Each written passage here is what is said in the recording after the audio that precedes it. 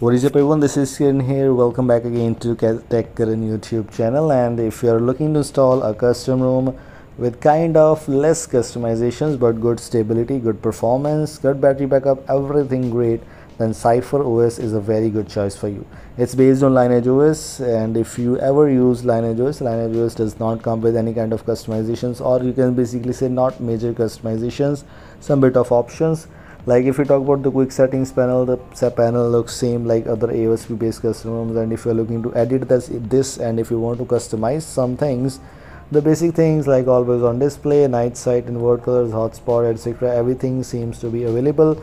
There is no screenshot tile which I was looking for. Unfortunately that's not present but yes the screen recording option is present for you. If you want to record screen then the option is present for you the about phone also contains this CipherOS logo which you don't get in lineages because it's based on lineages but lineages with bit of extra features bit of extra customizations it doesn't even come with the gaming mode. You need to keep this thing in your mind. If you're a gamer it doesn't come with a gaming mode but the developers say it's a gaming ROM. So let's just find out. I haven't played some games by the way but yes if you want to try it out link to install this build is in the description. In the terms of other options the settings has a different ui which is kind of a themed one or basically you can say substratum theme is what already pre-installed which I'm not sure it is actually but it's looking like because it's looking like a substratum theme which is already pre-installed.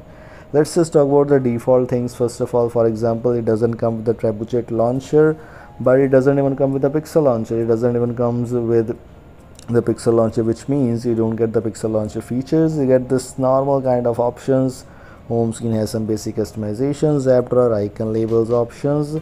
You get the app locker option in hidden and protected apps but unfortunately the app lock is not present in the settings. I will show you i will talk about that later on but app locker is present in the launcher settings. If you want to change the launcher you need to think about that app lock will not work if you change the launcher.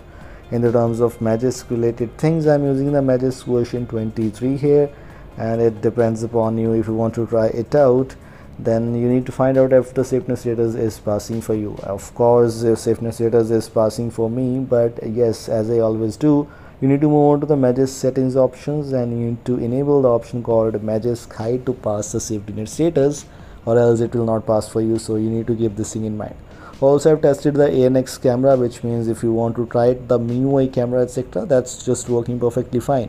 What is called anx camera? Anx camera is a mode which is a MIUI camera port actually for custom ROMs so yes that option is present for you and I have tried tested it was working perfectly fine. If you're looking to install ANX camera then it's working fine. This this ROM does not have any kind of issues in that. In customization section as you just saw apps and notification doesn't include anything styles and wallpapers here you get this customizations? Even if you move to the wallpaper section the default one is CipherOS but you get some customization wallpapers.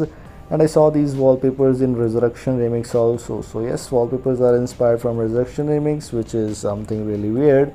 Styles and wallpapers of course have some fonts customization some icons related customizations. Here you can see the sam and whatever icon you want to apply it. You can also customize the accent color. Everything depends upon you whatever you want to do on your device and the icon shape etc you have some options for you.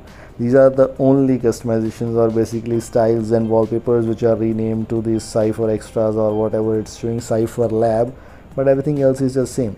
As I previously mentioned you what I saw the battery backup seems to be great enough. I tried and then I just restarted my device. I reinstalled this custom ROM to find out some issues so that's why the battery stats are not showing the exact things but what I have tested it was giving me approximately 5 to 5 and half percent of active drain which is just very very interesting.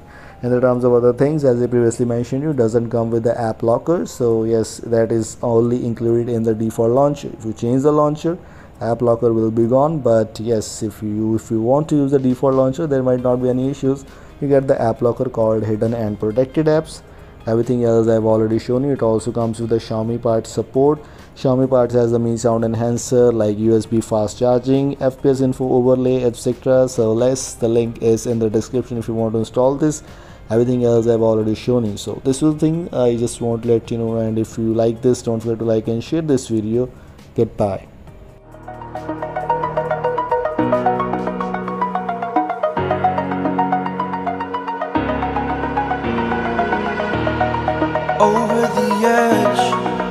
like I'm floating through